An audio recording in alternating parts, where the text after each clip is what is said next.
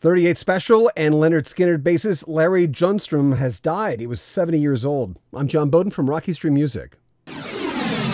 The big man on the big bass has left us. That's what his former bandmates in 38 Special said. And we just lost Ginger Baker. Here's what else 38 Special said about Larry. He rocked arenas all over the world and succeeded in living the dream. He was truly one of a kind, a congenial traveling companion, and a great friend to all with a humorous slant on life that always kept our spirits high. A kind man with a big heart for everyone who crossed his path. There will never be another one like him. We are sending our devoted love, strength, and comfort to his wife Thania and Larry's family. We will miss you, our friend and partner. He was also with Lynyrd Skynyrd during their formative years back in the 60s but left before they released their first album, pronounced Lynyrd Skynyrd. He formed the band with Ronnie Van Zant, Gary Rossington, Allen Collins, and Bob Burns. In 1977, he joined 38 Special, was on every single one of their albums, but had to leave in 2014 because he injured his hand. 38 Special had seven albums in the Billboard Top 100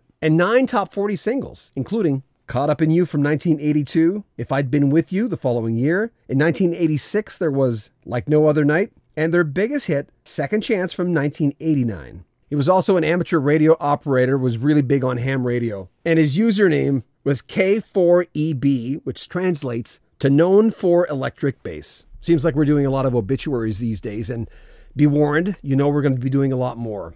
Our favorite rock stars are just getting older, like us. Have any memories about Larry? 38 Special? Make sure you comment on our video, subscribe to our channel, and share our videos. I'm John Beaudin from Rock History Music.